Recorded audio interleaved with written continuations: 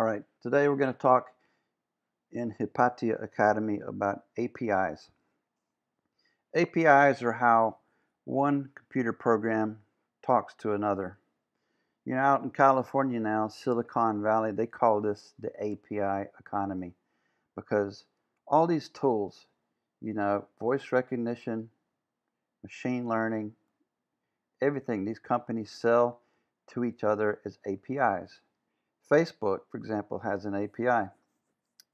What does that mean? Look at this diagram here. Okay, we have the public internet. That's you sitting in your house, sitting in Starbucks, working on your cell phone, or writing a computer program to talk to Facebook or Open Weather, for example. Open Weather lets you get the, the forecast, and Facebook provides an API so that so that you can update your Facebook page.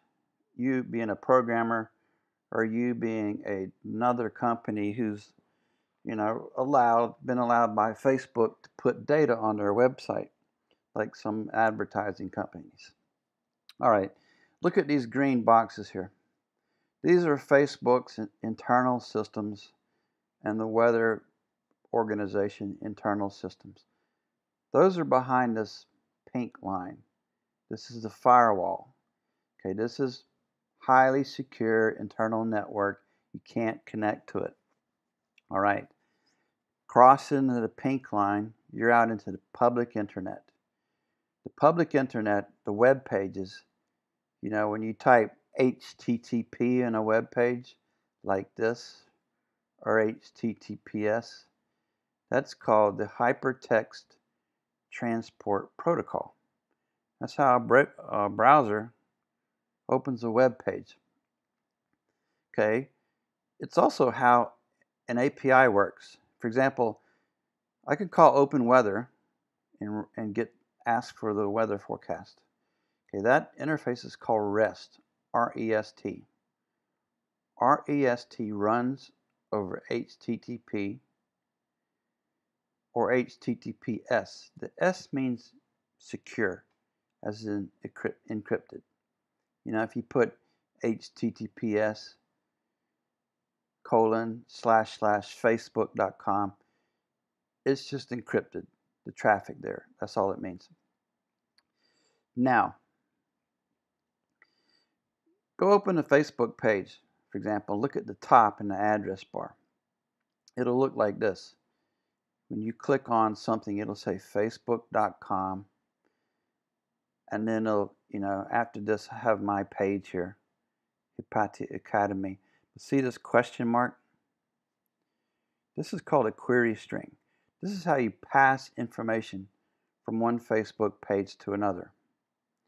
There's actually two ways to do that. There's a parameter which you can't see, and the query string, which you can see. So here we are telling the Facebook page that the model or the modal is suggested action. That, that means something to Facebook.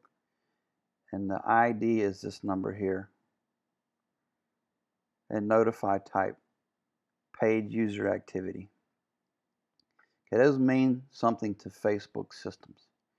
Now you communicate to that using this REST API and using either a GET, a PUT, or a POST. GET means read a page, PUT and POST means write to a page. Okay, we're going to do an example here. Open Weather API. They let you get the forecast, weather forecast, for different cities based on the city name, the longitude, the latitude, etc. It's free, except for, you know, commercial users have to pay something. All right, we're going to show some Python code to do this. Okay, we use two things, two internal tools, one called Simple JSON, which simply makes JSON easier to work with. You know what JSON is. It's a dictionary. It's what we've been using to communicate. Okay, request. is another Python framework or API. They call it request for humans, meaning, you know, the regular request and the regular JSON Python tools are very complicated. So they made something simpler, requests. Okay, now, here's what we're going to do. See this query string? This is the latitude and longitude for Nicosia in Cyprus. We're going to communicate with this URL, API openweathermap.org, data 25 weather question mark. We'll pass it these query string parameters, including this, which is your authentication code. Instead of a password, when you when you sign up to use a web service, they give you a secret key. All right, now we're going to use the request tool, which just does HTTP post or get. Here we're going to say get. We say we want this URL and these parameters. So it will go out, talk to Weather API. Now we want to get the response. Look, here it comes back. It says cloudy, it says it says the, the temperature, the humidity. They put the temperature like this, 302. I believe, well, obviously you have to divide it by 10. It's not 302 degrees in Nicosia. Okay, there's the uh, the barometric pressure, country code, the time of the sunrise, time of the sunset, current visibility, etc. Scattered clouds, the wind speed.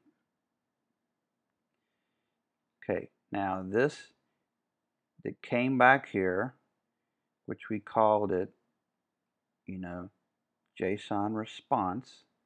That's what came back. This is a dictionary. It has not been converted to a JSON string which is something that you have to do when you want to write data to an API. So we can print it out. We can say print out the dictionary keys. Now notice right here, for example, it says uh, it says wind. Well, here's wind. That's a key. Uh, weather. Here's weather.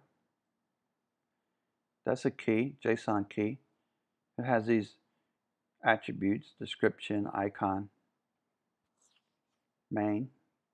So what that means, this is a dictionary, I can go get that. I can say, go look up this main key, which was up here. Here. It's got this temperature and humidity stuff in it. And print it out. So print out the values for dictionary main. There it is. Now look, there's a temperature here. So I can get that just by saying, give me the temperature. Dictionary, main, this is another key. You know, the key being the item on the left, temperature, the value being the item on the right. I'm going to divide it by 10 because it's, you know, it's 300, it's 30.2 degrees in, in Nicosia right now. All right. We did this all in Python, but there's this tool called curl. You know, curl is built into built into Ubuntu. You can add it to Windows. It does the same thing as writing a Python program. You just say curl. Now I didn't say get. Get is the default. I'm going to say go get the weather website.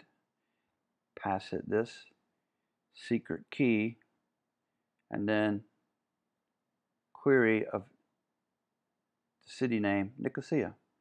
Comes back, here's the weather forecast. Same thing. The other other example I gave, I used the uh, the latitude and longitude. We can also use the name of the town. All right. In order to talk about writing data, we need a database.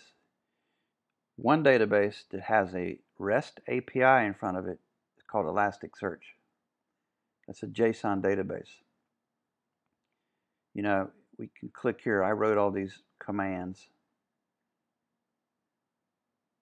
You know, which you can look here, Elasticsearch cheat sheet. Um, to give you on one page all the commands. Like for example, we can do git. Now here, look at this. Okay, Paris X is one of my Ubuntu servers. Okay, this is the IP address. It's in the internal network at Amazon. Okay, it's not on the public internet. Okay, 9200, that means what port the process is running on. Okay, we'll talk about that more, but when you when you talk to a program, you have to know where it is, the host name, and what port is it running on. All right, so this cat indices, that means if you send a query to that URL, it will list all the documents in the in the database. Well, I've got here's one index is called FileBeat. I've got 35,000 documents in it. I got a lot more, but the screen is too long, so I just printed some of it. Some of it. All right, how do you add data? Well, we're going to make it in JSON format. Move it over a little bit so you can see. See, but we're going to use put. So we say we want to post to that says localhost. It should say Paris X. It only works localhost if I am logged on to that box, Paris X. But anyway, we say we want to send it this type of data, JSON. There are other types like text, for example. Okay, we want to put at this address in this index the number one is the document number. And then here's our JSON. School Harvard. Did it respond? Okay, it created one document and it says successful one. All right. Let's do this below again. But this time let's use Python. Okay, here I want to write student Walker. I'm going to put um, this is document number two, the same index, samples. Okay, it's just as before. We're using Python, same thing. But notice the request item. It's going to be a little bit different because it's going to have a put on it. Because we're going to write something there. You can use put or post. Before we were reading it, so we said get. But this time we want to write to the API. Okay, so we're going to say take this dictionary, which is here, student walker. Now we have to convert it to a string. Right now it's a dictionary object. We do that using JSON dump string. So request put requires three parameters. The URL, the data, here it is, it's going to be this, and the headers. Now, weather map has you send the headers on the URL. That's not good practice, security header. Normally when you communicate with an API, you're going to put your secret key in here, somewhere it can't be, well, it still can be read, but not as easily read. Okay, but here we, we have to give it just one header, which is the content type. We're going to say it's JSON. That lets Elasticsearch know what kind of data it's going to send, you know, be receiving. Now we say the end response text. That means show me what it what it did. Okay, here's the response.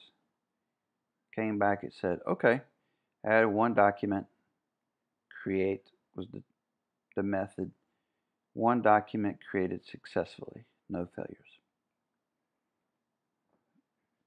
All right, that's it. That's a review of how, let's go back to the diagram again.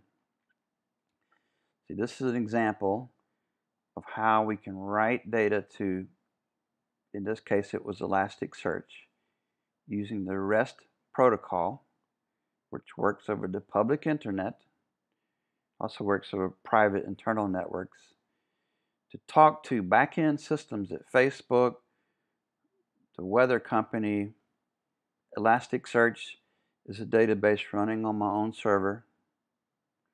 We send it JSON data, or in the case of the weather weather map, we just send it. Uh, it's called query parameters, on the command line, or basically the same thing you type in the browser. You know, as you can see, Facebook does that for their own tools. You know, question mark, query parameter modal. And the next one, notif ID and notif type. All right, that's it.